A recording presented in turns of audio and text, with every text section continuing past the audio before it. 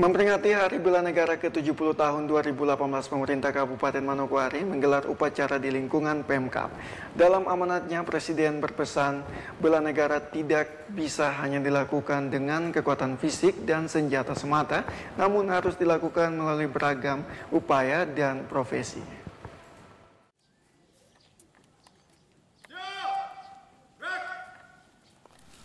Upacara Hari Bela Negara dilaksanakan di halaman kantor Bupati Manokwari pada Rabu 19 Desember 2019. Bertindak selaku pembina upacara Bupati Manokwari Demas Polo Sumanajan, sedangkan pemimpin upacara Kabak Organisasi dan Tata Laksana Setda Manokwari. Upacara diawali dengan pembacaan ikrar bela negara. Presiden dalam amanah tertulis yang dibacakan Bupati Demas Polo Sumanajan menyampaikan, Hari Bela Negara dicanangkan untuk menghormati dan mengajak semua warga membela negara melebihi panggilan tugas yang menjadi tanggung jawabnya.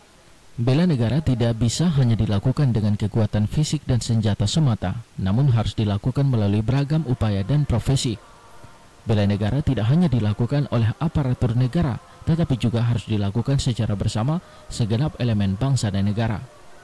Bela negara merupakan wadah peran dan kontribusi segenap komponen masyarakat, termasuk dunia usaha, dunia pendidikan, media, hingga tokoh pemuda dan tokoh agama guna memberikan sumbangsi kepada negara. Penetapan peristiwa bersejarah ini sebagai Hari Bela Negara merupakan penegasan bahwa bela negara sejak dulu telah memiliki konteks yang sangat luas.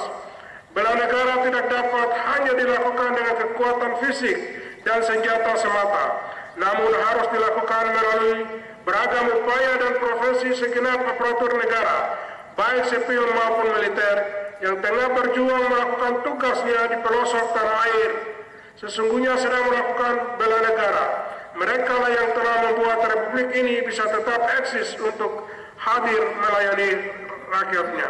Melalui momentum Hari Bela Negara, Presiden mengajak masyarakat selalu mensyukuri keberadaan ratusan suku bangsa, bahasa dan adat istiadat, serta beragam agama dan kepercayaan di dalam wadah negara kesatuan Republik Indonesia yang membentang lebih dari seperdelapan katulistiwa. Selain itu diharapkan semua elemen bangsa dapat mewujudkan rasa syukur atas anugerah kemerdekaan dan persatuan serta kesatuan dengan aksi nasional bela negara di berbagai bidang.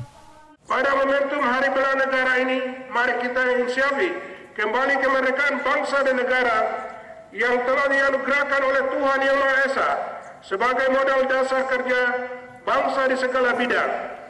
Mari kita syukuri bersama keberadaan ratusan suku bangsa, bahasa adat istiadat, beragam agama dan kepercayaan di dalam wadah negara kesatuan Republik Indonesia membentang lebih dari seperdelapan katulistiwa.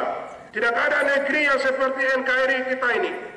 Untuk itu saya mengajak semua elemen bangsa untuk mewujudkan rasa syukur atas anugerah kemerdekaan dan persatuan kesatuan kita dengan aksi nasional bela negara di berbagai bidang.